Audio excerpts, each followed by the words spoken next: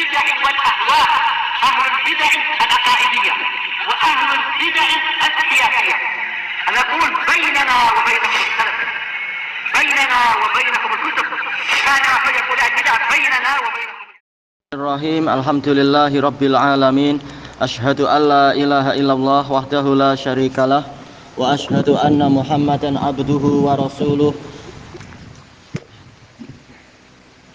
Allahumma sholli ala muhammadin abdika wa rasulik Wa ala alihi wa ashabihi ajma'in amma ba'd Baik, kita masih di mukadimah Imam Ibnu Katsir rahimahullah uh, Syekh Abdullah At-Turki memberikan catatan kaki syarjaan. Anda kemarin baca syarjian ya. Tayyib syarjaan yaitu dia adalah al-ali al-munif yaitu yang tinggi dan megah. Tayyib. Dan juga kata beliau al-musyrif ala ghairih yaitu yang seakan-akan pengawas terhadap yang lainnya. Al-mutanahi fitulihi wa uluwih yang mencapai puncak ketinggian uh, tul tul panjang kah ulu tinggi panjang dan tingginya dibandingkan dengan para makhluk Tayyib. Uh, kemudian beliau memberikan catatan kaki untuk malaikat karubiyun makna dari karubiyun adalah uh, sadatul malaikatil muqarrabin pemimpin para malaikat yang didekatkan ayo teman Baik. Kemudian Imam Ibnu Katsir mengatakan wa kadza arja'us samawat mashhunatun bil malaikah. Demikian pula penjuru-penjuru langit penuh dengan para malaikat. Seperti yang di dalam hadis Ibni hadis Abi Dzar dan yang lainnya itu. Tidak ada jarak satu jengkal pun kecuali di situ ada malaikat. Bukan maksudnya malaikat kecil-kecil satu jengkal tentunya. Tapi memang penuh jarak sekecil apa pun tetap di situ penuh dengan para malaikat, ada malaikatnya. Wa yafidu minhum fi kulli yaumin sab'una alfan ilal baitil ma'mur bisama isabiah. Dan dari para malaikat tadi, para malaikat yang di langit datanglah pada yaitu berkunjunglah pada setiap hari 70 ribu malaikat ke Baitul Ma'mur ini isyarat ke hadis siapa? Anas tuh ya, muttafaqun alaih. Yang ada di langit yang ketujuh. Yang kata para ulama, Baitul Makmur bagi para malaikat itu bagaikan Ka'bah bagi penduduk bumi untuk dikunjungi. Adapun bahwasanya dia itu tepat memang di atas Ka'bah, di atas langit ketujuh sana. Kalau ditarik garis ke bawah, dia tepat di atas Ka'bah. Bukan mustahil, tetapi sanadnya toif masalahnya. Wallahu a'lam. Tayyib la yauduna ilaihi akhira ma alaihim mereka tidak kembali ke Baitul Makmur sampai sehingga yang terakhir dari mereka datang ke Baitul Makmur. Setiap hari 70 ribu yang datang itu berlainan. Entah sampai sekarang sudah berapa juta tahun setiap harinya 70 ribu berarti malaikat wa ma ya'lamu illahu. Tidak ada yang mengetahui tentara-tentara Rabb kecuali dia sendiri. Jumlahnya tak terhitung untuk kita. Fi tahlilin wa tahmidin wa takbirin wa salatin wa taslim. Mereka di dalam tahlil, tahmid, takbir, salat dan e, mendoakan keselamatan yaitu senantiasa berzikir pada Allah taala. Baik. Wa wada'al lil anami ala tayyaril ma. Dan Allah meletakkan bumi untuk para makhluk makhluk yang di bumi di atas permukaan air. Tayar yaitu apa? Lingkaran atau bulatan. Dan ini dirajihkan pula oleh Imam Ibnul Qayyim rahimahullahu taala sebagaimana di dalam kitab beliau Miftah dari Sa'adah bahwasanya bumi ini hakikatnya ya hanya Allah yang tahu hakikatnya tapi dia seperti yang disebutkan di dalam dalil-dalil dia ada di atas air Baik, dan disebutkan dengan beberapa penelitian oleh beliau. Walaupun nampaknya tanah kita ini langsung bersambung dengan apa? Dengan eh, apa istilahnya? Dasar dari lautan, yaitu dasar dari lautan adalah tanah juga. Tapi ternyata tanah sendiri berlapis-lapis. Yang kita tempati bukan mustahil dia itu adalah di bawah air, eh, di atas permukaan air. Hanya Allah yang tahu tentang hakikatnya. Wa ja'ala fiha rawasiya min fawqiha. Dan Allah menjadikan di bumi itu, di permukaan tanah itu, di laut juga ada, yaitu gunung-gunung yang tinggi menjulang dari atasnya. Sebagai apa? Sebagai pasak, sebagai penguat. Dan ini merojihkan pendapat para ulama karena Allah Ta'ala mengatakan angtami dabikum agar jangan sampai bumi itu terus bergoyang. Karena dia memang ibarat kapal terus bergoyang di atas air. Tapi tatkala ada pasak yang menancapkan kapal itu sampai ke yaitu terhubung dengan tanah yang paling dasar entah bagaimana hakikatnya maka bumi pun jadi tenang bumi dalam artian yaitu tanah yang kita tempati hanya Allah yang tahu bagaimana hakikatnya. Wa baraka fiha dan Allah memberikan keberkahan pada bumi. Kita tanam sedikit eh, tumbuh berbagai jenis tanaman kita letakkan biji-bijian bijirin maka berbagai jenis bunga pun bermunculan. Yang tidak kita harapkan pun muncul juga yaitu rerumputan dan lain-lain. Memang penuh berkah. Wa qaddara fiha aqwataha dan Allah menentukan di bumi itu makanan-makanannya jenis-jenis makanan asasi. Fi arbaati ayam itu semua hanya dalam empat hari. Sawa al ilin yaitu empat hari yang setara. Untuk orang-orang yang bertanya alal khilaf ada yang mengatakan sesuai dengan e, lafadznya ilin yaitu orang yang menanyakan tentang peristiwa-peristiwa itu. Ada yang mengatakan sailin yaitu orang-orang yang memohon, orang-orang yang beribadah kepada Allah. Nah, diajari bahwasanya Allah memang sebagai Rabb terhadap segalanya. Sailin yaitu orang-orang yang berdoa dan beribadah. Catatan kaki ada enggak di sini? Tak ada ya. Baik.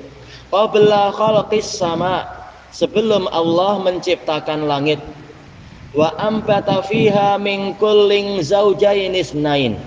dan Allah menumbuhkan di bumi itu dari segala jenis tanaman yaitu dua yang berpasang-pasangan yaitu masing-masing ada pasangannya. Ada jantan ada betina ada ada kering ada yang basah ada yang warna eh, rasa ini rasa itu. Masing-masing berpasangan kata para ulama. Jalalatan lil alibba sebagai petunjuk untuk orang-orang yang memiliki mata hati yang hanya bukan hanya mempelajari biologi untuk sekedar tahu ilmu tetapi betul-betul mengetahui kekuasaan Allah di balik itu semua. Kalau di dalam catatan kaki di naskah yang lain aulia. Min jami'i ma ibadu ilaih dari segala jenis tanaman yang diperlukan oleh para hamba fi ihim wa soifihim pada musim semi eh, pada musim sejuk mereka dan pada musim panas. Masing-masing ada buah yang sesuai di situ dan ada makanan yang sesuai di situ. Walikul lima yahtajuna ilaih. Dan untuk segala perkara yang mereka perlukan. Mereka perlu rumah alhamdulillah Allah menyediakan e, berbagai jenis kayu yang diperlukan. Demikian pula batu-batuan yang membantu untuk untuk menyusun menyusun rumah tadi. Demikian pula untuk membentuk semen-semen bahan dasar semen dan seterusnya. Wayam likunah dan apa saja yang mereka kuasai.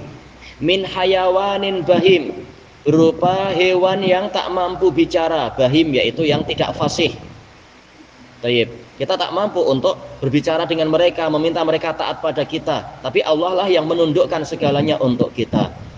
Taib. Padahal mereka tak paham bahasa kita, tapi dan mereka kita juga tak paham bahasa mereka. Namun tahu-tahu Allah Taala menundukkan mereka untuk kita, untuk kita kuasai. Wa bada'al khalqal insani min Dan Allah memulai penciptaan jenis manusia itu adalah dari tanah liat. Nah, setelah itu kita bukan dari tanah liat tapi waja'ala naslahu min sulalatin mimma immahin. Dan Allah jadikan keturunannya nasl yaitu adalah keturunan dzurriyyah dari sulalah yaitu dari inti. Sebagian mengatakan sulalah adalah inti dari air yang hina, air mani. Fi qararim makin diletakkan di tempat menetap yang sangat kukuh yaitu di rahim ibu dengan beberapa lapisannya itu faja'alahu sami'an basira. Kemudian yaitu setelah lahir, kemudian Allah yang membuka pendengaran dan penglihatannya, menjadikan dia mampu mendengar, menjadikan dia mampu melihat. Tanpa izin Allah, walaupun ada mata tak mampu melihat, walaupun ada telinga tak mampu mendengar, tapi Allah lah yang menjadikan itu semua. Ba'da alam yakun syai'am madhkura. Setelah dia itu belum menjadi sesuatu yang layak disebut. Ya belum ada orang yang namanya fulan fulan fulan sampai dia lahir dan diberi nama dan seterusnya. Sebelumnya bahkan disebut-sebut pun tidak. Wa syarrafahu bil ilmi wa ta'lim dan Allah memuliakan dia dengan ilmu dan pengajaran. Semula dia dilahirkan dalam keadaan zalumang jahula, kemudian dimuliakan dengan ilmu dan hidayah, ilmu dan kelurusan sehingga menjadi orang yang yang berilmu dan orang yang adil. Ini menunjukkan ilmu mendatangkan kemuliaan, pengajaran juga mendatangkan ketinggian.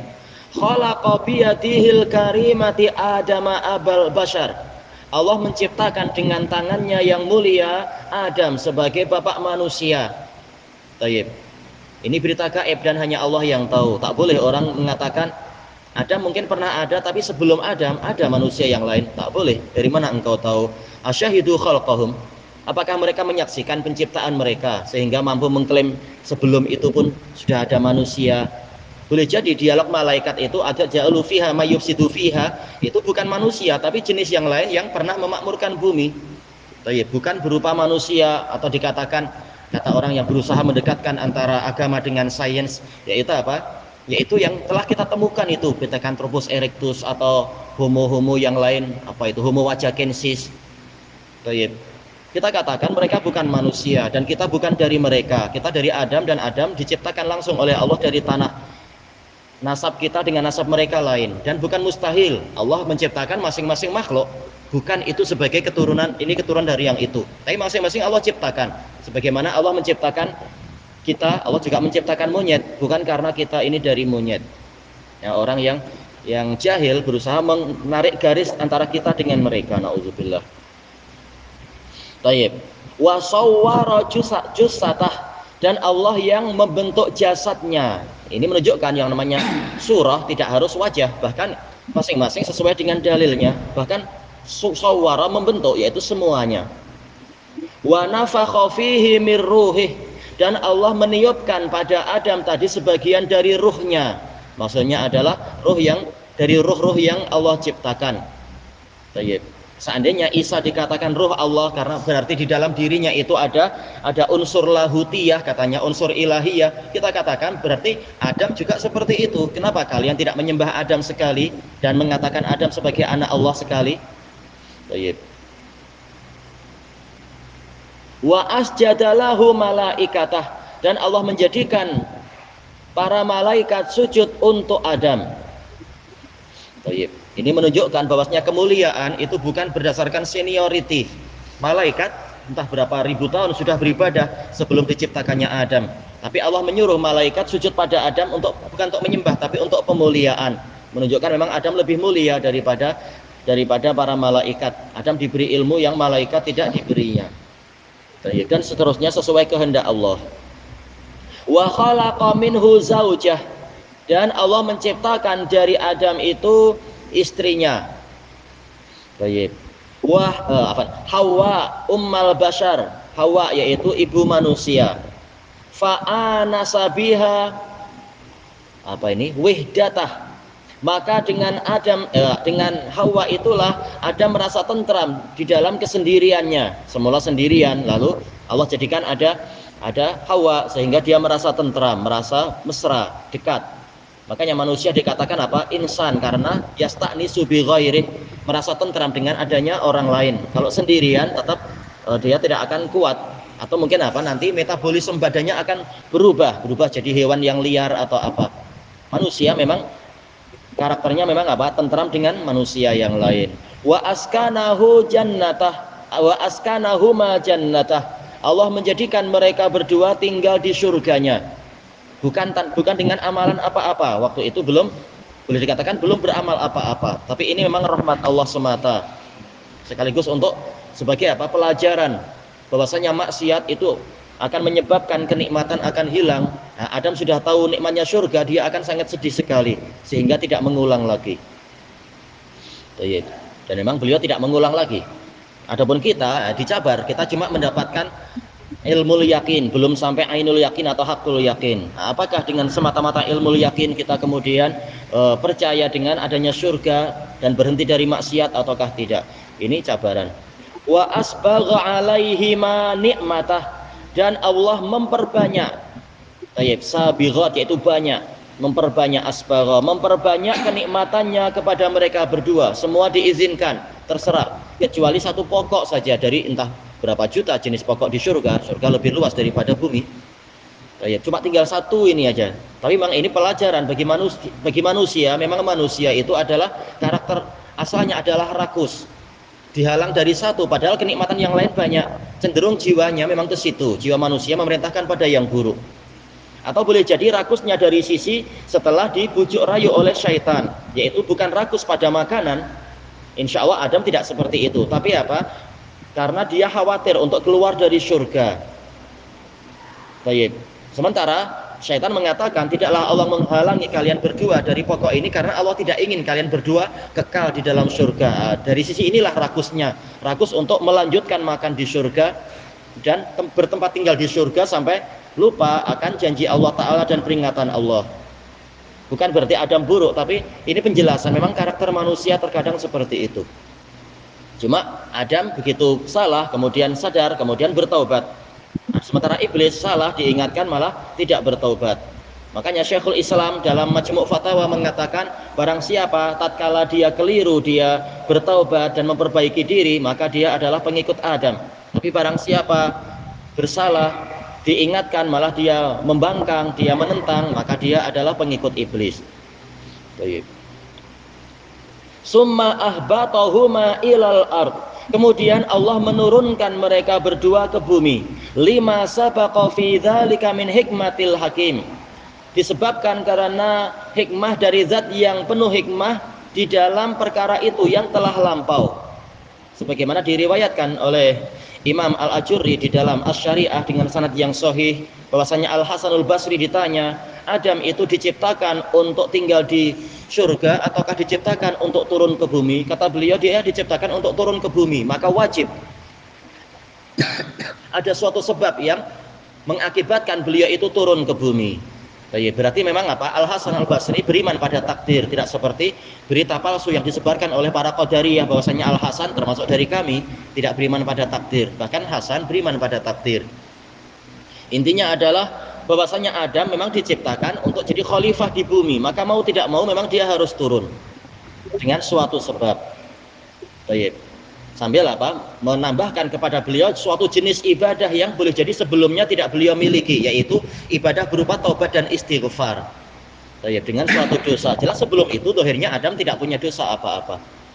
Sehingga e, tidak disebutkan beliau bertobat dan sebagainya. Namun dengan sebab suatu dosa, maka ada ibadah yang lain, yaitu istighfar dan taubat. Sementara Allah lebih suka kepada taubatnya hamba daripada seorang hamba kehilangan e, kehilangan kendaraan kemudian mendapatkannya lagi setelah dia putus asa. Maka taubat adalah kata Imam Ibnul Qayyim di dalam eh, Madarijus Salikin adalah ibadah yang paling Allah cintai. Baik. Allah Ta'ala menakdirkan manusia berbuat dosa bukan untuk membinasakan mereka. Tapi Allah ingin mereka masuk kepada jenis ibadah yang terbaik yaitu taubat dan seterusnya. Dan ini yang di antara bentuk kemuliaan manusia dibanding iblis. Iblis dikasih satu dosa malah semakin masuk kepada dosa berikutnya dan sombong. Sementara manusia banyak yang dapat taufik setelah berdosa kemudian bertaubat. Akhirnya keadaan dia sebelum eh, setelah taubat lebih baik daripada sebelum berbuat dosa. Kemudian kata beliau di sini wabasa minhuma rijalan wa. Dan Allah menebarkan dari Adam dan Hawa tadi lelaki-lelaki yang banyak dan perempuan-perempuan yang banyak. Kita tahu bahwasanya al-ma'tuf itu memiliki hukum seperti al-ma'tuf alaih. Berarti apa? Tatkala rijalan di sini man, e, naatnya adalah kasiro, maka nisaan juga sama, naatnya sama. Rijalan kasiro wa nisaan kasiro. Kasir wazan fa'il dia mencakup mudakar dan muannats seperti apa? Qarib. Inna rahmatallahi qaribum minal muhsinin. Tak perlu qaribah. Kita sudah sampai mana? Cari titiknya. Wa qasamahum biqadarihil azim mulukan waru'ah dan Allah membagi mereka dengan takdirnya yang agung menjadi apa? Ada yang menjadi raja-raja, ada yang menjadi para rakyat sebagai apa? Sebagai ujian, ujian syukur dan ujian amanah dan juga ujian sabar dan ujian berbagai jenis ibadah yang lain. Tayyib. Wa fuqara wa aghniya, ada fuqara dan ada ada yang orang miskin, ada orang kaya untuk ujian-ujian yang seperti tadi dan agar terbentuk ibadah-ibadah ibadah apa itu yang kaya bersedekah yang miskin bersabar yang kaya eh, apalagi misalkan yaitu membelanjakan hartanya di dalam kebaikan sementara yang miskin maka mereka mendapatkan ibadah dari jenis-jenis yang lain yaitu memperbanyak doa dan ketawaduan kepada Allah taala. Wa ahraran wa abida, ada yang menjadi orang merdeka sehingga dia sangat bebas dalam ibadah sehingga manfaatnya lebih besar. Dan ada hamba sahaya yang gerakannya sangat terbatasi. Tanpa izin tuannya dia tak boleh ke sana ke sini dan seterusnya. Namun dari sisi yang lain dia diberi ibadah dua diberi pahala dua kali lipat. Kalau dia taat pada hambanya dan dia beribadah pada Allah. Wa ima'a. Baik, dari kalangan wanita, wanita merdeka dan wanita yang menjadi hamba sahaya. Tayyib ilahuna wallahu a'lam. Syekh, Allah memberi rezeki kepada siapa yang dia kendaki. Jadi dah kita berusaha. Jadi di sini di, dikatakan Allah memberi keberkahan kepada bumi. Jadi uh, adakah level-level keberkahan ada level-level keberkahan dari segi, dari segi apa yang kita usahakan? Contohnya kalau kita buat uh, kita tanam mm-hmm. manis contohnya betul, betul. ataupun buat pekerjaan lain mm. yang untuk mencari rezeki Allah juga. Jadi adakah ini eh, sebab dia bagi keberkahan lebih baik kita buat harum manis Ah, mungkin ada level keberkahan itu. Nah, itu kembalinya adalah kepada apa? Kepada musyawarah dengan orang yang pakar sambil istikharah kepada Allah dan kita memanfaatkan pengalaman orang lain dan pengalaman kita sendiri yaitu kita lihat kita ini cenderungnya ke apa atau dari sisi uh, apa istilahnya itu ya talenta kita apa atau mungkin dari keturunan apa? Karena terkadang orang yang memang dari keturunan penjahit dia lebih pakar pada masalah menjahit. Tapi orang yang memang dari keturunan petani dia pakar dalam masalah pertanian sudah biasa.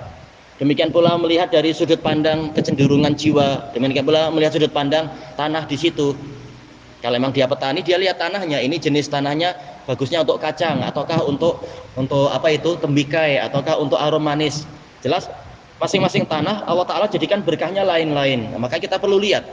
Tidak perlu memaksakan satu jenis tanaman. Tapi kita lihat oh ini jenis di sini memang sesuai untuk harum manis harum manis. Atau yang sesuai untuk mungkin apa epal epal karena memang berkah tanah lain-lain sebagaimana diisyaratkan di dalam uh, hadis muttafaqun alaih dari Abi Musa al-Ash'ari tentang bahwa yaitu permisalan uh, ilmu yang ilmu dan petunjuk yang Allah utuskan saya dengannya adalah bagaikan hujan yang menimpa tanah. Ada yang dia itu adalah yaitu ardun toyibah, maksudnya tanah yang subur. Ada yang dia itu adalah uh, yang jenis yang lain yaitu rimal, yaitu berpasir atau yang koyan dan sebagainya. Ada yang dia itu memang mampu untuk subur menumbuhkan berbagai tanaman. Ada yang dia hanya sesuai untuk untuk menampung tanah, menampung air saja. Nah, kalau kita lihat seperti ini hanya menampung air tak mampu menumbuhkan tanaman, apa gunanya air jenis ini atau tanah ini? Oh, kita buat kolam mancing ya kan banyak orang yang buat kolam pemancingan atau untuk apa itu yang funfair air-air funfair apa itu? Nah, taman tema. Jadi lihat keadaan tanah di situ seperti apa. Oh tapi ini tanahnya berpasir, tak boleh untuk ini, tak boleh untuk itu. Ada kita buat iklan aja, kuari tanah untuk dijual tanah-tanahnya dan sebagainya. Harga tanah makin naik kan katanya. Harga pasir pun makin naik di mana-mana. Istilahnya lihat jenis keberkahan tanah di situ apa. Ada yang memang sesuai untuk untuk buat semen ya sudah jual jual semen atau apa yang seperti itu. Memang berkahnya lain-lain. Walaupun dari sisi lain kita berdoa pada Allah mohon agar uh, yang kita usahakan ini diberkahi. Kalaupun tanahnya rusak mungkin untuk diberkahi diusahakan ini itu diolah lagi menjadi apa? Menjadi tanah yang baik. Sebagaimana di sebagian tempat itu tanah yang sudah berpuluh-puluh tahun ditanami padi cenderung uh, gizinya itu rusak. Maka apa? Kalau dia diseling-selang dengan kacang maka kacang itu akarnya mampu apa? Menghasilkan zat-zat tertentu untuk memperbaiki tanah. Nah, ini menunjukkan keberkahan mungkin untuk diusahakan Dulu kita tak ada ilmu, tak ada berkah boleh dikatakan. Tapi dengan adanya ilmu, jadi orang banyak ilmu, akhirnya diberkahi, boleh mengajar banyak orang, boleh apa. Jadi berkah mungkin diusahakan sambil banyak berdoa. Allahu a'lam. Alhamdulillahirabbil alamin.